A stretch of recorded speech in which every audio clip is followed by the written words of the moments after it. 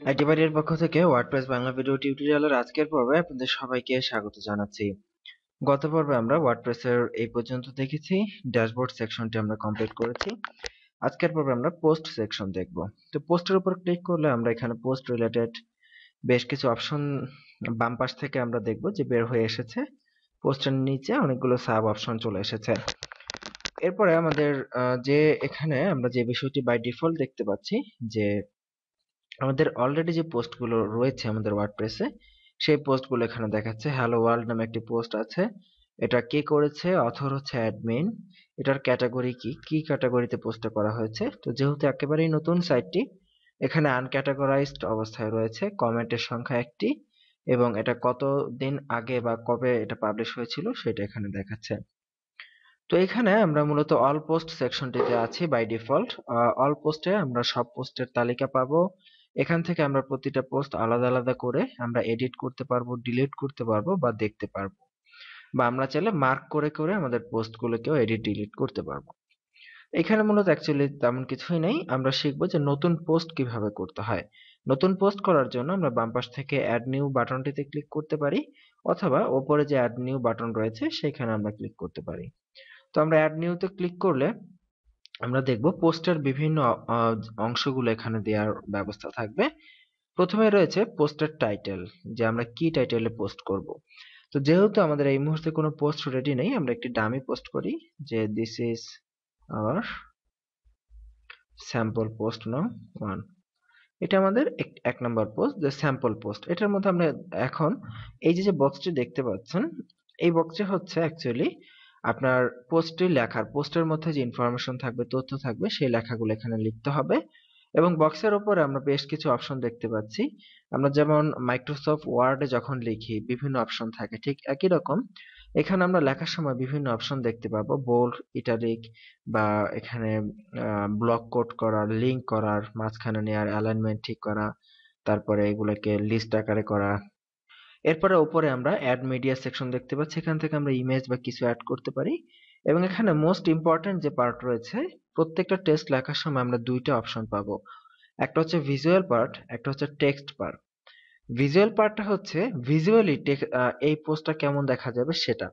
আর text পার্টটা হচ্ছে এই পোস্টে যদি আমি কোনো কাস্টম এসটিএমএল ঢোকাতে চাই, তাহলে আমরা এই টেক্সট পার্টে ক্লিক করে সেখানে কাস্টম এসটিএমএল ঢোকাতে পারব। বিষয়টি আমরা আরেকটু ক্লিয়ার করার জন্য আমরা এখানে লরাম ইপসাম, আপনারা সবাই জানেন লরাম ইপসাম ডট নেটে ডামি টেক্সট পাওয়া যায়, যেটা আমরা এখানে পোস্টে ব্যবহার করতে পারি। আমরা এখানে বিভিন্ন পোস্ট এখানে করলাম, আমরা এখানে এটা পেস্ট করে দিয়ে একটা লম্বা, অনেক বড় একটা পোস্ট করলাম। আমরা চাইলে এখন এই পোস্টের কোন অংশকে চাইলে বোল্ড করতে পারি। যেমন আমরা যদি এই অংশটাকে বোল্ড করতে চাই জাস্ট এইভাবে সিলেক্ট করে আমরা বি আইকনে ক্লিক করলে দেখুন এই অংশটুকু বোল্ড হয়ে গেছে।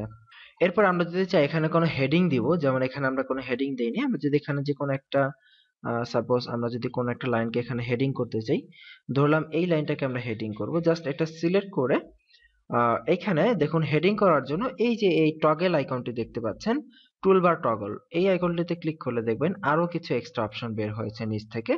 তো এখানে প্যারাগ্রাফে ক্লিক করে আমরা এখানে হেডিং ওয়ান টু থ্রি যেটা দিতে চাই, আমরা যদি হেডিং টু করতে চাই জাস্ট হেডিং টু তে ক্লিক করে দেবো। দেখুন আমাদের সিলেক্ট করা অংশটুকু হেডিং টু হয়ে গেছে। ভেরি ইজি আমরা যদি টেক্সটের কালার চেঞ্জ করতে চাই জাস্ট এটাকে এইভাবে ব্লক করব। ব্লক করে এই যে এখান থেকে টেক্সটের কালার আমরা যদি লাল দেই, এখানে লাল কালার হয়ে যাবে। এখন কোশ্চেন হচ্ছে, আমরা এখানে কিছু কাস্টম এইচটিএমএল বা সিএসএস বসাতে চাই। সেই ক্ষেত্রে এখানে আমরা যেটা দেখতে পাচ্ছি ভিজুয়াল সেকশন এটা হচ্ছে আপনার এই আর্টিকেলটি আপনার এই পোস্টটি ইউজার সরাসরি কেমন দেখতে পাবে সেটা। তো এই যে এখানে আমরা হেডিং করলাম, আপনারা তো জানেন HTML, CSS যে কোনো একটি হেডিং করার জন্য h2 ট্যাগ ব্যবহার করতে হয়। তো এখানে আমরা এটাকে হেডিং করেছি, কিন্তু এখানে তো কোনো h2 ট্যাগ আসে নাই। কিন্তু এটা হেডিং হয়ে মোটা হয়ে গেছে বাট এটার h2 ট্যাগটা এসেছে। সেটা দেখার জন্য আমরা এই টেক্সট সেকশনে ক্লিক করতে পারি। টেক্সট সেকশনে ক্লিক করলে আমরা যে লেখাগুলো লিখেছিলাম, তার যাবতীয় HTML ফরম্যাট দেখতে পাবেন, আপনি চাইলে এডিটও করতে পারবেন। যেমন এই যে দেখুন, এখানে আমরা দেখতে পাচ্ছি, আমরা যে হেডিংটি করেছিলাম, সেই লাইনটি এইচ টু ট্যাগের মধ্যে আছে। এখন আমরা চাইলে এটাকে এখান থেকে কাস্টমাইজ করতে পারি। যেমন আমরা যদি এটাকে চাই, এখানে কোনো স্টাইল দিব, আমরা চাইলে স্টাইল দিতে পারি। টেক্সটার কালার আমরা রেড করে দিতে পারি। এবং আমরা এখানে যে কাস্টম সিএসএসটা দিলাম, বা কাস্টম আমরা যে কোডগুলো দিলাম, আমরা যদি এখন এটা ভিজুয়ালি দেখি দেখবেন এই যে হেডিং এ সেই কাস্টম কোডটা পেয়ে গেছে। দ্যাট মিনস যারা এইচটিএমএল সিএসএস জানেন এবং যারা মাইক্রোসফট ওয়ার্ডে লিখতে পারেন, তারা এখান থেকে বিভিন্ন ধরনের সুবিধা নিয়ে আপনারা আপনাদের আপনাদের পোস্টগুলোকে এখান থেকে চমৎকারভাবে আপনারা এডিট করতে পারেন। এবং এখানে চাইলে আপনি কোনো ইমেজও নিতে পারেন। যেমন আমরা যদি এই অংশটিতে কোনো ছবি চাই জাস্ট সিম্পলি এখানে অ্যাড মিডিয়াতে ক্লিক করব। এখানে আমরা ইমেজ ফাইলটি ড্র্যাগ এন্ড ড্রপ করতে পারি, অথবা এখান থেকে সিলেক্ট ফাইলে ক্লিক করে আমরা আমাদের কম্পিউটার থেকে যে কোনো একটা ফটো এখান থেকে আপলোড করে দিতে পারি। দেখুন, এখানে একটি ফটো আপলোড করেছি। এখানে চাইলে আপনি ফটোর ক্যাপশন দিতে পারেন। যেমন ল্যান্ডস্কেপ ফটো একটা ক্যাপশন দিলাম। অল্টার টেক্সট দিতে পারেন এসিওর জন্য। যেমন this photo is okay description ছেড়ে দিতে পারেন। জাস্ট ইনসার্ট ইনটু পোস্ট এটাতে ক্লিক করছি। দেখব যে এই ছবিটা আমাদের পোস্টের মধ্যে চলে এসেছে। আমরা চাইলে এটার উপর ক্লিক করে এটার সাইজ এখান থেকে বড় করতে পারি বা এটার সাইজ ছোট করতে পারি। আমাদের সুবিধা মতো আমাদের এখানে আমরা এটা বসাতে পারি। তো এই হচ্ছে অবশ্য আপনি চাইলে এটাকে অ্যালাইন রাইটও করতে পারেন। এই যে দেখেন এখানে বিভিন্ন অ্যালাইনমেন্ট রয়েছে। অ্যালাইন রাইট বা অ্যালাইন সেন্টার বা অ্যালাইন লেফট আপনি ইত্যাদি ভাবে আপনার এটাকে এখান থেকে সেট করতে পারেন। এরপরে আমরা, এই গেল তো ফটো মানে আমাদের আর্টিকেল মাঝখানে যে সেকশনটা থাকবে কন্টেন্ট সেকশনের পালা। ডান পাশে আমরা বেশ কিছু অপশন দেখতে পাচ্ছি, এখানে ফরম্যাট আমাদের আর্টিকেলটা কি ফরম্যাটে থাকবে এসআই নাকি ইমেজ নাকি স্ট্যান্ডার্ড সো এটা এখানে স্ট্যান্ডার্ড ফরম্যাটে আছে। এরপরে আছে এখানে ক্যাটাগরির পালা, যে ক্যাটাগরিগুলো আমরা কি দিব? তো যেহেতু আমরা এখন আমাদের ওয়েবসাইটে কোনো ক্যাটাগরি তৈরি করিনি, এখানে ওয়ার্ডপ্রেসের বাই ডিফল্ট আনক্যাটাগরাইজড নামে একটি ক্যাটাগরি থাকে, এখান থেকে আপনি সেই ক্যাটাগরিগুলো সিলেক্ট করে দিতে পারবেন একটা অথবা একটার বেশি। আপনি চাইলে এখান থেকে অ্যাড নিউ ক্যাটাগরিতে ক্লিক করে নতুন কোনো ক্যাটাগরি দিতে পারেন। তো আমরা এখানে একটা ক্যাটাগরি দিই ডামি পোস্ট যেহেতু আমাদের একটা ডামি পোস্ট এখানে তেমন কিছুই নেই। আমরা জাস্ট একটা সিম্পল পোস্ট করলাম ডামি পোস্ট দিয়ে একটি ক্যাটাগরি করলাম। আপনি চাইলে এখানে আরও অনেক ক্যাটাগরি দিতে পারেন। এরপর হচ্ছে ট্যাক্স ট্যাক্স কি জিনিস আপনারা সবাই বোঝেন? ট্যাগ হচ্ছে এই রিলেটেড কিছু শব্দ। যেমন এটা আমাদের এখানে অ্যাকচুয়ালি আমাদের নেচার রিলেটেড ছবি আছে, আমরা নেচার দিতে পারি। তারপরে কমা দিয়ে একটা স্পেস দিয়ে, যেমন আওয়ার ট্যাগ ওয়ান এখানে কমা দিয়ে আওয়ার ট্যাগ টু আমাদের ইচ্ছা মতো যে কোনো ট্যাগ দিয়ে জাস্ট অ্যাডে ক্লিক করলে দেখবেন ট্যাগগুলো অ্যাড হয়ে গেছে। এরপর যে সেকশনটি রয়েছে এখানে featured image this is very important feature image কি জিনিস সেটা আমাদের বুঝতে হবে, সেটা বোঝার জন্য আমরা সরাসরি আইটি বাড়িতে চলে যাই। আইটি বাড়িতে আপনি বিভিন্ন পোস্টের বাম পাশে ছোট্ট করে একটা ছবি দেখবেন, দেখুন। বিভিন্ন ছবি দেখা যাচ্ছে। এই ছবিগুলোই হচ্ছে মূলত এই পোস্টগুলোর ফিচার্ড ইমেজ তো আপনি চাইলে আপনার পোস্টের জন্য ফিচার ইমেজ দিতে পারেন। তো জাস্ট একই নিয়মে সেট ফিচার ইমেজ এখান থেকে আপনি চাইলে মিডিয়া লাইব্রেরি যে সেকশনটি রয়েছে, সেখানে আপনি অলরেডি আপনি যে যে ছবিগুলো আপলোড করেছেন, সেগুলোর তালিকা দেখতে পাবেন। চাইলে সেখান থেকে কোনো ছবিকে সিলেক্ট করতে পারেন। যেমন এখানে আমরা, আপনারা দেখেছেন এই ছবিটি আপলোড করেছি, তাই এই ছবিটি এখানে দেখা যাচ্ছে। আমরা যদি নতুন কোনো ছবি আপলোড করতে চাই জাস্ট আপলোড ফাইলস সিলেক্ট এবং আমরা এখান থেকে এনিথিং যে কোনো একটা ছবি আমরা জাস্ট সিম্পলি ক্লিক করে আপলোড করে দিলাম। Just set as feature image দেখুন ফিচার ইমেজ হিসেবে সেট হয়ে গেল। এখন আমাদের পোস্ট মোটামুটি ভাবে মডিফিকেশন আমরা কমপ্লিট করে ফেলেছি। এখন আমাদেরকে সিম্পলি যেটা আমরা বুঝব সেটা হচ্ছে পাবলিশ সেকশন এই পাবলিশ সেকশন থেকে আমরা আমাদের যাবতীয় কাজ করতে পারি। আপনি চাইলে এই পোস্টটি ভবিষ্যতে পুনরায় এডিট করার জন্য সেভ ড্রাফট করে রাখতে পারেন। তাহলে যেটা হবে ড্রাফট হিসেবে জমা থাকবে। এটা এই মুহূর্তে পাবলিশ হবে না। আবার আপনি চাইলে এটাকে পাবলিশ করার পূর্বে এই যে দেখুন প্রিভিউ রয়েছে।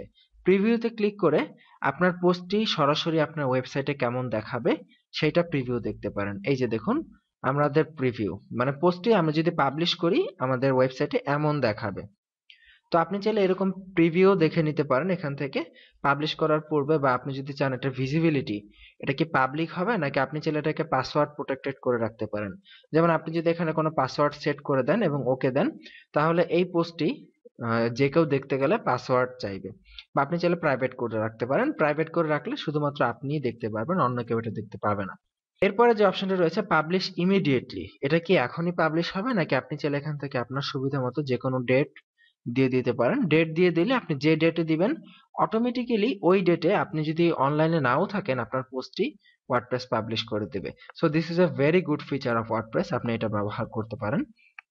এরপরে মুভ টু ট্র্যাশ এটা দিলে আপনি যে পোস্টে এতক্ষণ ধরে লিখলেন, সেটি ডিলিট হয়ে যাবে। তো এটি আমরা করতেছি না, আমরা পাবলিশে ক্লিক করতে পারি।